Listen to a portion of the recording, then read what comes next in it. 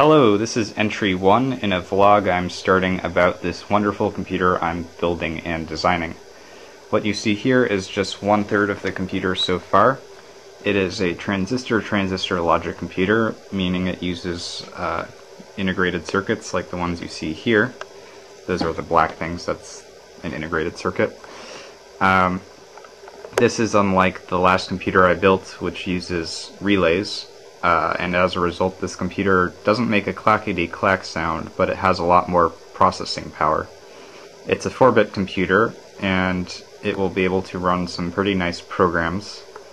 Um, and the name for the computer is the Duo 128 Elite, because it has uh, 64 bits of memory in the uh, RAM right here, and 64 bits of memory in the VRAM, which is not on this board yet because I haven't built it, or rather installed it. Uh, I'm going to show you what the different chips are. Um, the main chip is the uh, EEPROM right here, which stores all the commands that are to be executed by the computer.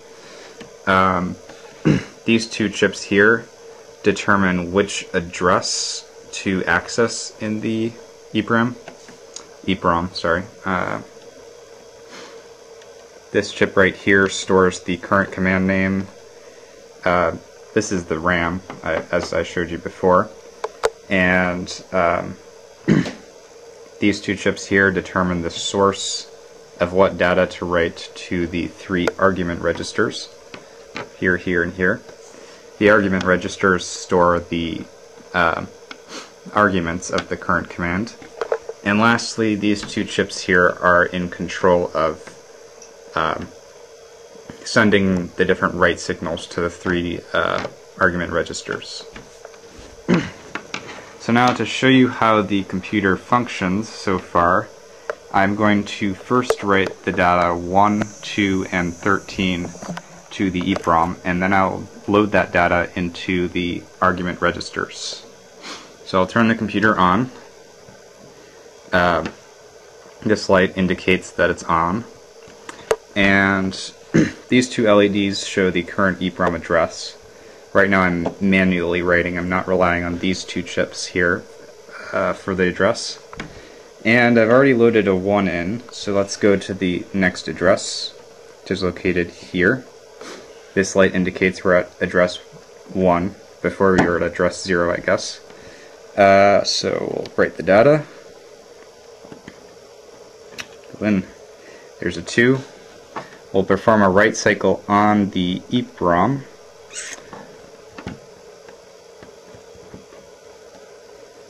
It's kind of painstaking to do it by hand, but it is possible. So there.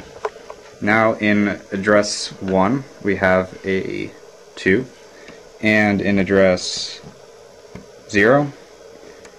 We still have, oops, sorry, we still have our 1 and address 0. And now let's go to address 2, like so.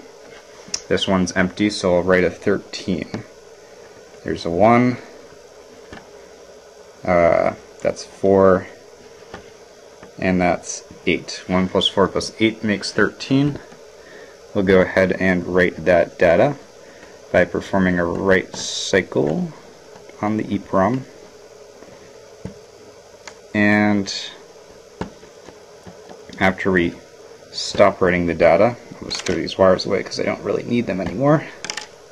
Um, now we have a 13 written to register, I'm not register, 13 written to the second address of the EEPROM. And we'll go back there's the 1 and 2 and 13.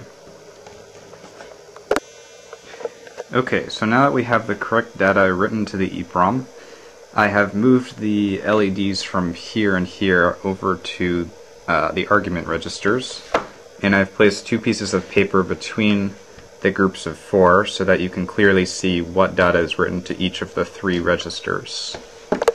Um, so now to load the data from the EEPROM into the registers, I'll turn the power back on. and perform some secret operation over here, namely selecting the correct place to write to in the uh, registers there. And now, uh, I'll perform the first write cycle. Sorry, I'm having technical difficulty. Okay, so there we perform the first write cycle uh, to here, and we have a 1, as you can see. The, this is uh, the first digit. And we can go to the next address by pressing this button. There we go. So in the next register we have a 2. That second light is on, and that's binary, mind you. Um, we'll press the button to go to the next address, and there is our 13. So we wrote the data 1, 2, and 13 to the EEPROM, and as you can see it's loaded 1, 2, and 13 into the three different argument registers respectively. Thank you for watching. Uh, I'll post more, more videos in the future as I keep constructing the computer. Uh, see you later.